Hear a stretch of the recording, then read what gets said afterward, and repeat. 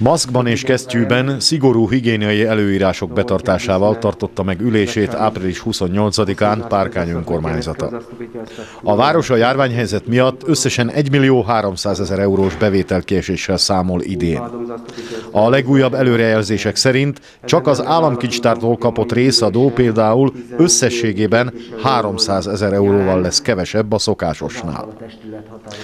A rendkívüli helyzet miatt rendszer szintű spórolásba kezd Párkány a városi hivatalban, a város alá tartozó intézményekben és a városi cégeknél, valamint a megrendelt szolgáltatások esetében is.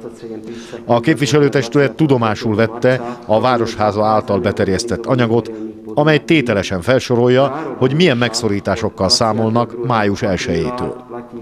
Jutalmakat például nem fizetnek, a személyi pótlékokat megkurtítják, a béreket 80%-ra nyesik vissza, a városi költségvetésből nyújtott támogatásokat pedig befagyasztják, továbbá a város által rendelt szolgáltatások mértékét is csökkentik.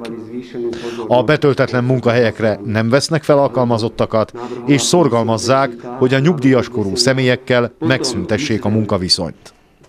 Egyelőre az idei kulturális támogatások kifizetését is leállították, azzal, hogy a rendkívüli helyzet után a szervezetek, civil társulások ezt részarányosan újra kérvényezhetik majd.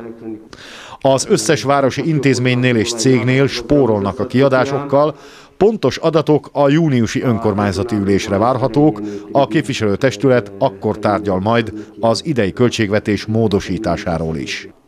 Saját pénzből új beruházásba, fejlesztésbe nem kezd Párkány 2020-ban.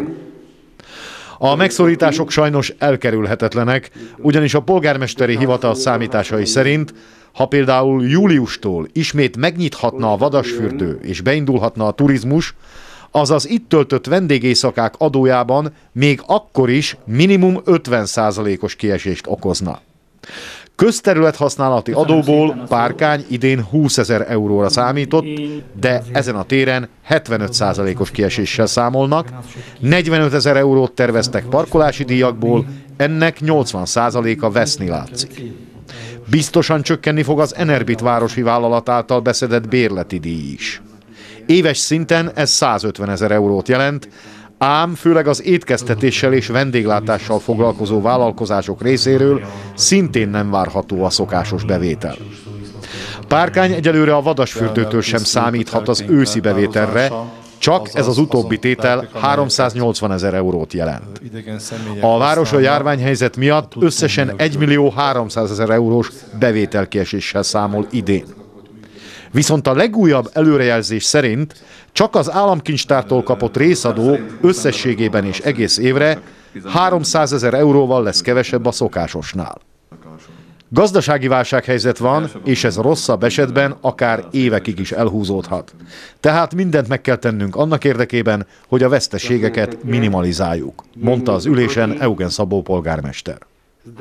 A képviselői interpelláció keretében többen is érdeklődtek arról, hogy Párkány területén működő idős otthonokban volt-e Covid-tesztelés, és ha nem, akkor ez a tesztelés miért maradt el, illetve mennyire készült fel a város a hajléktalanok esetleges megfertőződésére.